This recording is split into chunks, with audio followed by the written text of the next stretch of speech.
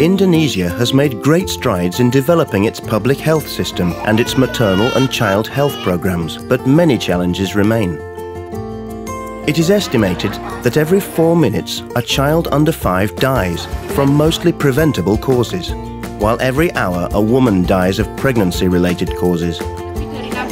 A majority of these deaths are in remote or rural areas, where the midwife is mainly responsible for maternal and child health she is at the heart of each community, giving advice and caring for pregnant mothers, babies, and at times the whole community. But many of the country's approximately 150,000 midwives have only a limited education, and many were trained some time ago. They have little access to resources or time to update and develop their skills. This led UNICEF to help develop a simple yet effective project, Info Bidan, or the Information for Midwives initiative. The idea is simple yet effective, texting key health messages to midwives in rural areas.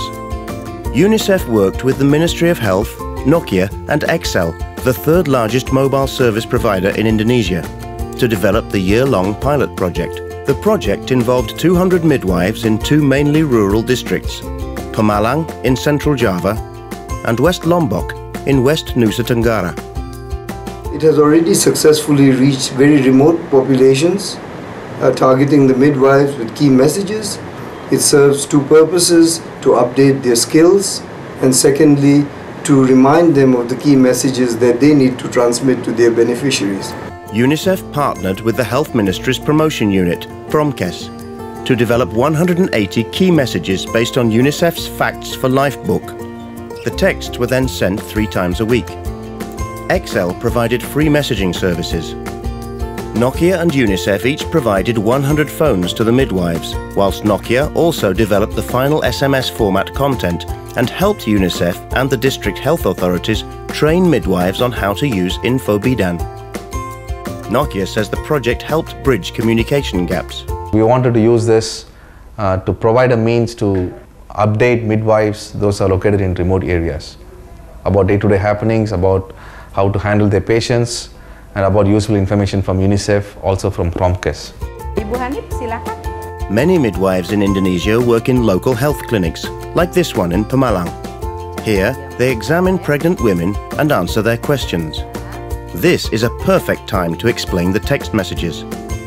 Life-saving messages about issues such as nutrition, breastfeeding, and high-risk deliveries sangat membantu tugas kami Pak, terutama eh, sebagai seorang bidan ya, apalagi kami bidan di desa. Setiap mendapatkan SMS dari Nokia, itu saya sendiri memang langsung mendokumentasikan. Jadi pesan-pesan singkat itu bisa langsung saya transfer ke pasien. Kelas ibu hamil. Oke. Dua kata ibu hamil. Ibu sehat. Tiga kata ibu hamil. Bayi lahir selamat. The Info Bidan project has also inspired midwives in Pemalang to start up classes where the midwives can share these messages and listen to their patients' concerns in a relaxed atmosphere. Nokia Life dari bekerja sama dengan UNICEF. Mungkin tanpa ini saya belum bisa menjawab, tapi ini adalah manfaat yang sangat besar sekali. The messages empower these midwives to provide the correct information. Mothers believe them because they come from UNICEF and the Health Ministry. One midwife decided to take the messages and make a PowerPoint presentation so everyone could see them and take part in discussions. The midwife doesn't just work in the health clinic, she must also travel to more remote villages to care for her patients, often driving for many kilometres. For midwives like Kusnani, getting a woman in labor to proper medical care is sometimes a matter of life or death. Uh, masyarakat desa Pabuaran itu orangnya ramah-ramah, menyambut saya dengan baik. Uh, orangnya kekeluargaan. Tapi kalau untuk dukanya, kalau setiap saya uh, misalkan uh, menolong persalinan yang kira-kira harus dirujuk, ada kendala atau kegawat daruratan itu susah.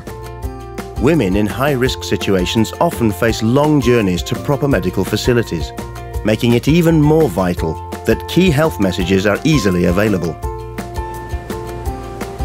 Some 1,000 kilometers away lies West Lombok, located just east of Bali, but a world away when it comes to development.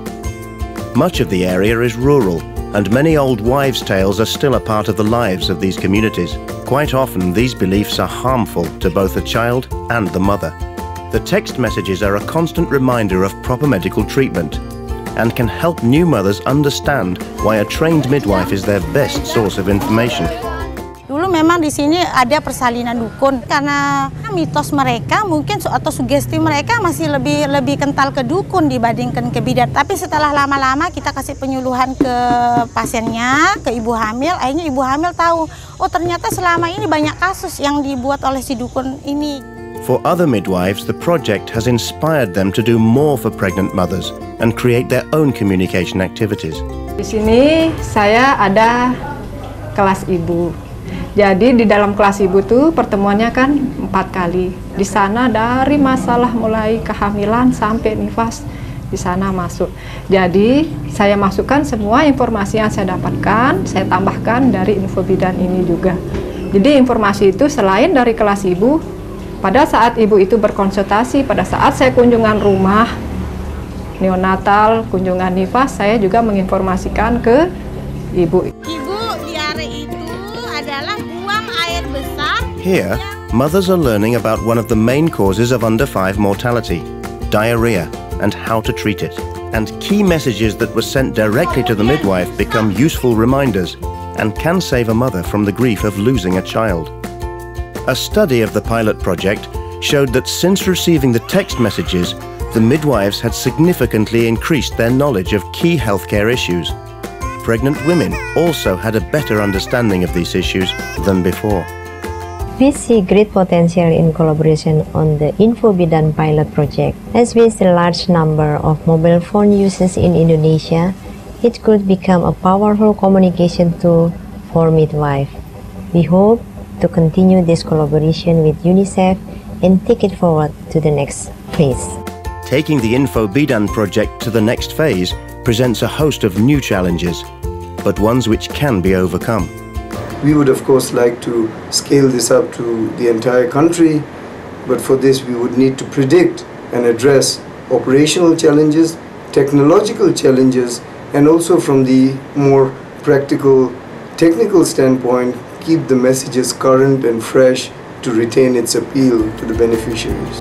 The Info Bidan project can be expanded to include other health information and rolled out into a nationwide program to reach midwives throughout this vast archipelago.